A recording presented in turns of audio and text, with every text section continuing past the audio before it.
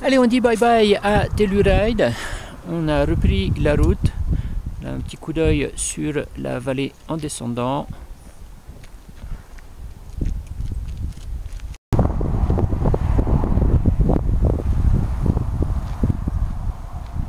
Ouais, c'est assez sympathique quand même. C'était joli ces petits changements de couleur des feuilles.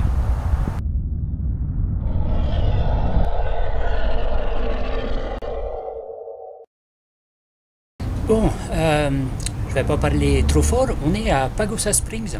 Pagosa Springs, en fait, c'est euh, des bains, donc des, une station thermale. Et euh, ben là, je vais vous montrer un petit peu sur la carte parce que celle où je vais, en fait, c'est ça. C'est celle-là. J'ai calé. Hop, voilà. Et ça marque 110 Fahrenheit. Hein. Je vais vous mettre la traduction en dessous, ce sera plus simple. Et on va aller faire un tour par ici. Voilà le petit panneau. Tout ça. Et celle où je vais, moi, c'est celle-là. Overlook 110. Toutes les autres, elles sont plus fraîches. Allez, on y retourne. Là, je suis tranquille, je suis tout seul. Je pas être embêté. On va mettre la petite boîte de la caméra ici et c'est parti pour un petit bain. Voilà. Ah. Ah. Oh, ça fait du bien mes vieux os. Alors, attends, je vais essayer de caler ma petite tête, ma grosse tête, ma tête où il n'y a pas grand chose dedans, et puis voilà. Ah, là, ça fait du bien, là. Puis là, pas embêté par les autres. C'est pour mouiller les autres. Cocotte. 110, ça fait euh, pas loin de 40 degrés, mais pas tout à fait, je crois. Je, donc je vais. vous le savez déjà puisque je vous ai mis la traduction en dessous. Donc là, c'est des sources. Bah, ça, sent, ça sent un peu l'œuf pourri quand même, il hein, faut l'avouer. Hein Partout. Non, un peu euh, dans tout le village aux alentours des sources. Mais c'est sympa. Donc Pagosa Springs. On a quitté Telluride. Et normalement, on va aller faire un tour du côté des Sand Dunes. Donc euh, ce sera euh, normalement un petit peu comme les dunes du Pilat. Et on ira là-bas demain. Voilà, aux alentours, eh ben, ça donne ça.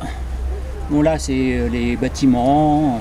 Je vais pas vous mentir, hein, c'est un petit peu cher hein, quand même. Hein. ça vaut, avec une réduction, ça vaut quand même 50 boules par personne.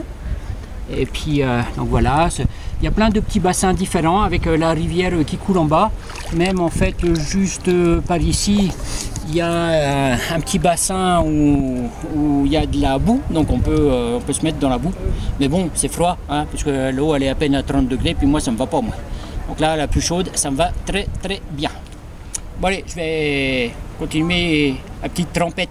C'est bien, ça, ça va m'enlever toutes les petites peaux mortes. C'est dommage, il n'y a pas des, euh, des rémoras, des petits poissons nettoyeurs. Il y, euh, il y, en a un en dessous, il y a un bassin où il y a des poissons, mais on ne peut pas se baigner. Puis c'est des carpes, parce que le, bassin il est froid en fait, on met juste les pieds dedans. On traverse euh, sur un petit pont. Mais ben non, il n'y a pas de rémora. Il faudrait peut-être qu'ils fassent ça, des rémoras qui acceptent l'eau souffrée. Ouais, ce serait intéressant. Il n'y a pas de requins hein, qui vont avec, hein, parce que sinon on, sort, on, rampe sur, les, sur les coudes. Parce qu'on est devenu des cul Allez, j'arrête de raconter des conneries. Bon, arrivé euh, donc à, la suite des Pagosa Springs, eh ben, arrivé aux Sand Dunes, donc aux dunes de sable, euh, là bah, ça fait carrément quand même milieu du désert, hein. parce qu'il y a de la montagne qui est juste ici. Alors on a traversé une, une plaine ben, qu'on voit un petit peu là-bas. Ben, dans le fond, dans le fond, il y a d'autres montagnes, mais au milieu des montagnes, ben, il n'y a rien. Il n'y a que euh, des grandes plaines qui font de l'agriculture. Et plus on se rapproche de la chaîne de montagne où, là, où, il, y a, justement ces, euh, ces dunes de sable, et ben c'est des. Ben, il n'y a rien. Voilà. Voilà au Visitor Center. Donc un petit coup d'œil depuis l'extérieur, de loin, là-bas. On voit qu'il y a plein de gens qui sont au pied, donc on va aller marcher un peu dessus. Donc là, un gros tas de sable. Puis là, ça nous explique euh, avec de l'ombre. Voilà. Comment se sont formées les dunes? Érosion, vent, eau, etc. Ouais, ça fait un gros tas de sable. Hein. Il y a de quoi faire des petits châteaux. Hein. Quand même. Regardez qu'est-ce qu'il y a là. Un castor.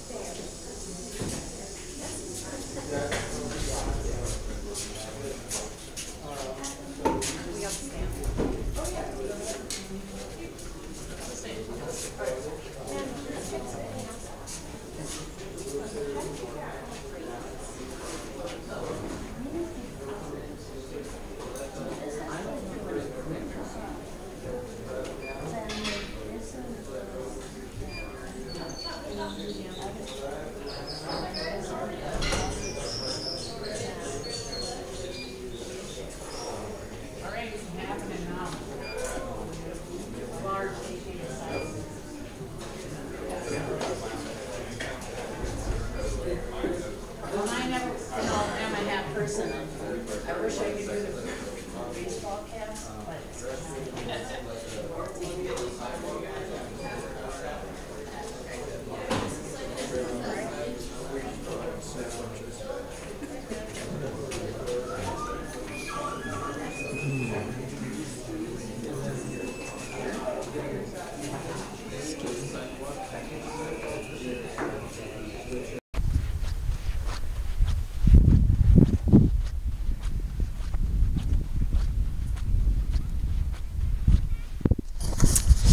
Bon ben voilà ce que ça donne les, les Great Sand Dunes, donc les grosses dunes. Bon, c'est assez quand même euh, assez touristique hein, au ça fait partie des, des, monuments historiques américains, etc. Donc bon, c'est quand même assez balèze, hein, faut l'avouer. C'est des, des grosses, grosses dunes de sable. Bah oui, nous avec notre petit Colorado provençal, avec notre dune du Pilat, ben, on, joue quand même euh, très petit joueur. Mais bon, ici, les dimensions, c'est pas les mêmes. Alors, ben, on va essayer de monter un petit peu. c'est bien parce que dans le centre informatif, euh, centre d'information, euh, j'ai réussi à filmer la petite vidéo montage de comment ça s'est formé et c'est assez intéressant. Donc nous y voilà. Bon, je pense que mes collègues ils vont pas vouloir monter jusqu'en haut, hein, parce que c'est quand même un petit peu de chemin. Mais on va au moins aller au pied quand même, au pied de ça. Bon alors évidemment ici il y en a plein qui descendent sur des planches, ben, façon snowboard un petit peu, parce que c'est tout à fait possible. Et puis ben, dans le coin ils font de la location de ça. C'est quand même assez joli d'avoir des morceaux qui sont un petit peu gris, des morceaux de, un petit peu vert dû à la maigre végétation qu'il y a dans les dunes. Et c'est sympa. Avec les montagnes dans le fond. Ça fait, non? Bon, je suis encore euh, loin d'être euh, en haut. Ah, mais au moins, j'ai laissé le gros du troupeau là-bas au pied. Elle continue un petit peu, je suis pas sûr d'aller jusque là quand même. Parce que ben j'en chie quoi. Quand même un peu. Hein. Je suis pas trop en forme. Hein. Même euh, si Anya que je faisais en moyenne. Désolé euh, Julien, texte avec euh, ton défi à 10 000 pas par jour. Il y a plein de jours où j'étais pas à 10 000 pas. En moyenne, je les dépasse. Mais c'était pour le boulot. Ici, là, euh, en plus, j'ai couru au départ pour euh, rattraper les autres parce qu'ils ne m'avaient pas attendu. ça fait longtemps que je les ai dépassés. Hein. Bon, le truc, là, c'est que il faut marcher sur les lignes de crête. Vous voyez, de ce côté-là, pente de ce côté-là. Marcher sur les lignes de crête, c'est beaucoup plus facile que d'essayer de se taper ça. en fait, euh, c'est à peu près comme sur euh, la neige. Sauf qu'on s'enfonce un petit peu moins quand même. Allez. Donc là, au lieu de me monter tout droit comme ça, je vais suivre un peu là et essayer de monter un peu là-haut. Bon, j'y suis pas encore. Là, je vais montrer ça parce que c'est assez joli quand même. Là, cette petite partie-là. Donc là, on a le vent qui souffle d'ici, comme ça. Ça nous fait des petites vaguelettes là, c'est assez joli. Ici, on voit bien que ça envoie le sable comme ça. Ça paraît tout doux, tout doux. Ouais, je vais quand même continuer à monter jusqu'à là-haut. Mais j'en chie toujours, hein. Mais bon, ça fait de l'entraînement pour quand euh, je vais rentrer sur Navarino, que je vais aller chercher des gens dans la montagne en marchant dans la neige avec un sac de 30 kg de nuit par tempête. C'est bien, il faudrait que je fasse ça en fait à peu près une fois par mois. Parce que là, euh, mais bon, ça va le faire. Je vais peut-être pas mourir tout de suite. Ah ben peut-être que si. Ah ben non, allez, ça repart. Allez, petite montée costaude.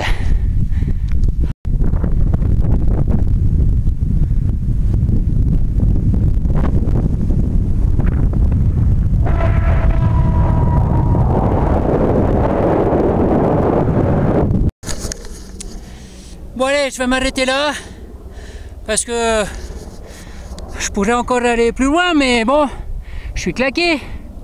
On a quand même une euh, belle vue là sur euh, toute la plaine. Donc les montagnes qu'on voit là-bas au fond, c'est les San Juan. Et celle-là, j'ai oublié le nom. Je vous le mettrai euh, dessous, ici. Et donc c'est ça, ça fait un, gros entonnoir de part et d'autre. Et puis il y a, comme on a vu sur le petit film, hein, bah, c'est cet entonnoir avec les périodes de, glaciation, d'érosion, de poussée des eaux, etc., qui a formé bah, ces dunes dans, euh, dans tout ce bassin de vallée ici.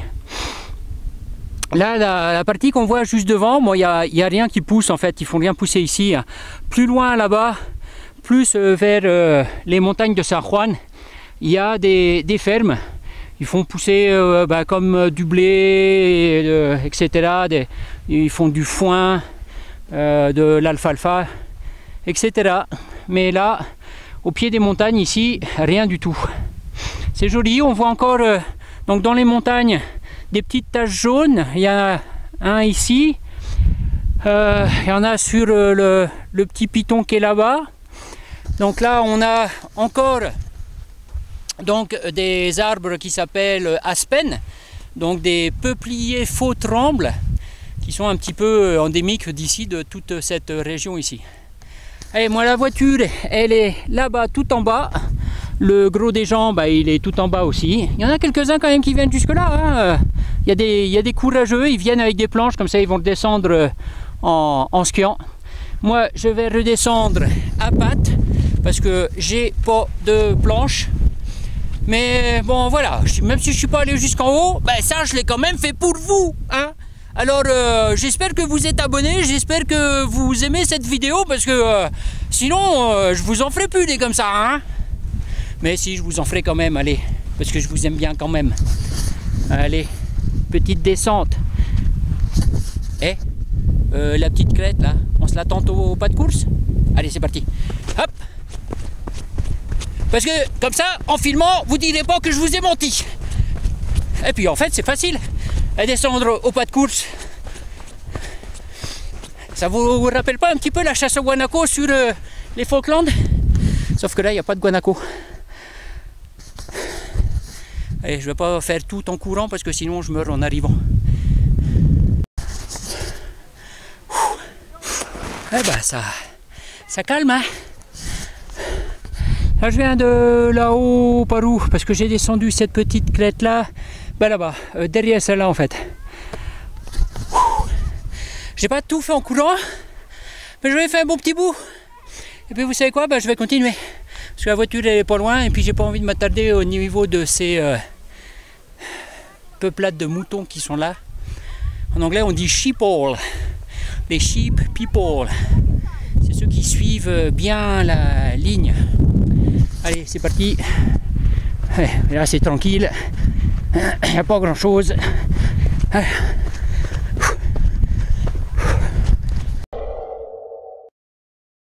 Bon, nous voilà au euh, Royal Gorge. Euh, bon, ce qu'il y a, c'est que on va prendre la, encore des, de téléphériques qui se trouvent là. Ça fout les miquettes parce que on va passer au-dessus de cette grande gorge là. Oui, oui, oui, Il y en a qui peuvent revenir avec euh, sur une euh, tyrolienne en fait. Mais ça, on va pas, on va, non, ça on va pas faire nous, la tyrolienne. Nous, on va y aller avec. Euh, et puis déjà, ça, à mon avis, ça va foutre les piquettes. It's cool, isn't it? Déjà.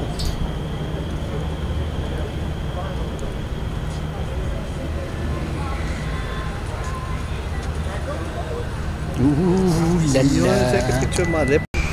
Regardez-les ceux-là.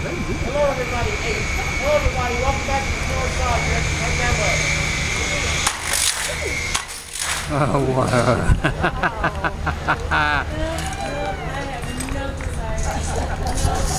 eh ben non, moi j'y vais pas là. Jusque là, tout va bien. You could even put that window down further. Ouh, ouh, Just don't think so. ouh, ça commence. Ouh, ça fout les miquettes. Oh aïe aïe, c'est loin. Don't drop the camera.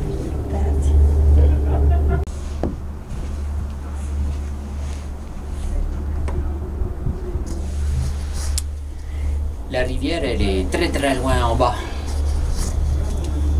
Beau petit pont.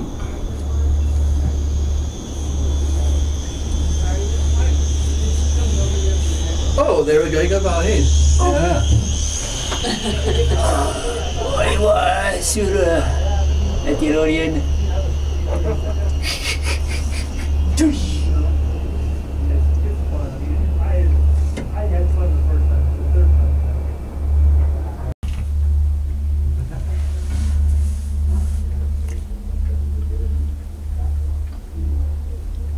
Alors, ils sont en train quelqu'un là pour la tyrolienne.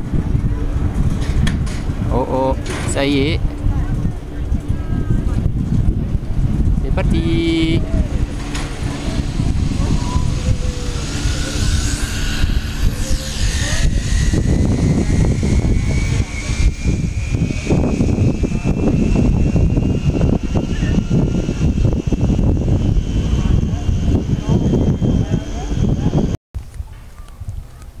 Bon, le côté attraction, il y a quand même le côté paysage aussi. hein.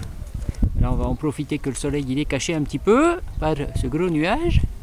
Faut pas avoir le soleil juste en face, en, en surexposition. Bon, c'est sympa toutes ces falaises ici. euh. Oh, puis c'est vrai que la, la traversée au-dessus du canyon, c'est quand même quelque chose. Je ne sais pas exactement combien il fait en profondeur, puisque là, on est arrivé là, euh, ça va fermer dans pas très longtemps. Donc, euh, je vais me renseigner un petit peu après, puis je vous le mettrai euh, sous la vidéo combien il fait euh, en, profondeur ce canyon. Il doit bien faire, euh, je sais pas, peut-être 150 mètres, je sais pas. À vue de nez comme ça. Allez. Bon, c'est un petit peu touristique aussi, c'est un peu Micheland, mais bon, les paysages, faut avouer que c'est joli aussi. C'est pas tous les jours qu'on fait ça, quoi. Les BD. Allô les BD.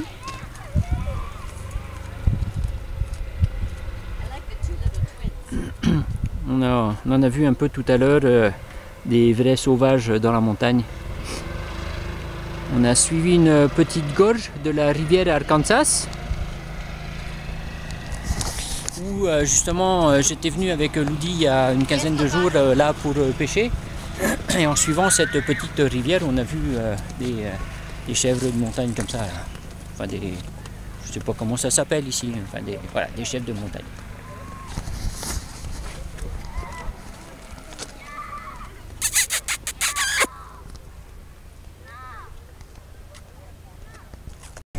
En tant qu'attraction, il y a aussi ça. Voilà, euh, gros portique là. Et puis ils sont en train de préparer quelqu'un au pied. Ici. Ils vont le faire monter et ils vont le lâcher pour faire un balancier. Ils vont commencer à le tirer en arrière.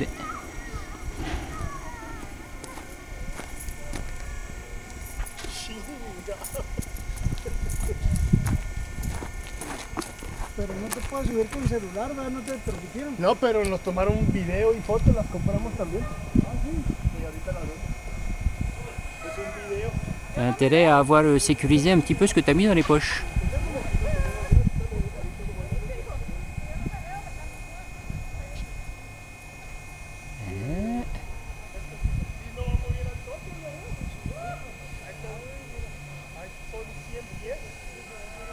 Eh. Eh. Et c'est parti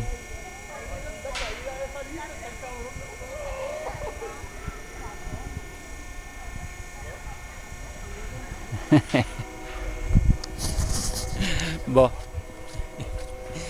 Allez, moi je vais pas faire non plus là. Ouais, il y a un petit train euh, en bas.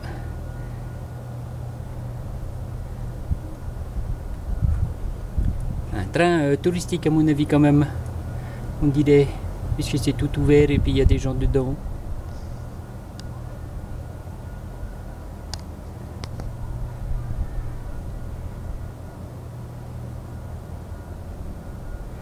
Une petite vue sur la gauche, si je passe de l'autre côté.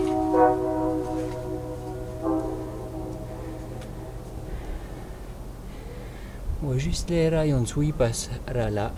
Il va suivre la gauche, comme ça. Autre petit point de vue du gros lance-pierre à l'envers, parce qu'en fait ils sont décrochés de là-haut derrière euh, l'arbre, mais ils vont voler là au-dessus bah, du vide. On va les voir passer. Ça va venir. Allez, c'est parti.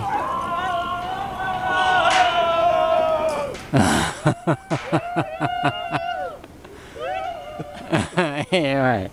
Alors, euh, hop, par ici, parce que donc voilà, ils ont ça comme vue là. Vous voyez vous, ah ils sont au-dessus du grand rien. Je vous ai dit, euh, moi si j'y vais, j'y meurs. hein. Bon, va falloir euh, traverser ce grand pont là. Moi j'y vais, mais j'ai peur. Regardez-moi les ceux-là. Hein? Ils sont beaux. Hein?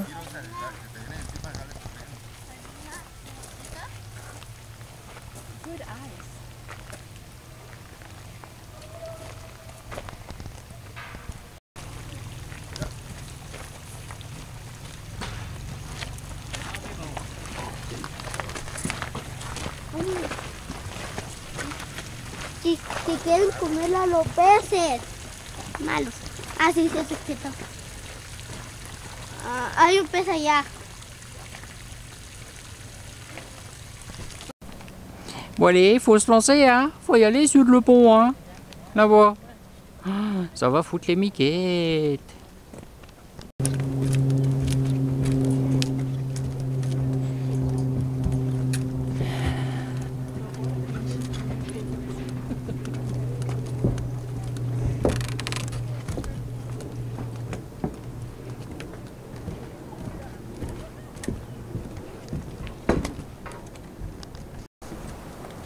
Les couleurs sont assez sympas toujours.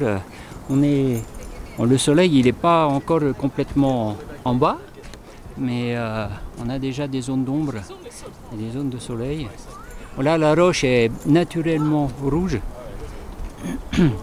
C'est assez joli. Mais ça fait peur. Petite image aussi de ce côté-là parce que c'est aussi sympathique. On entend aussi la rivière dans le fond.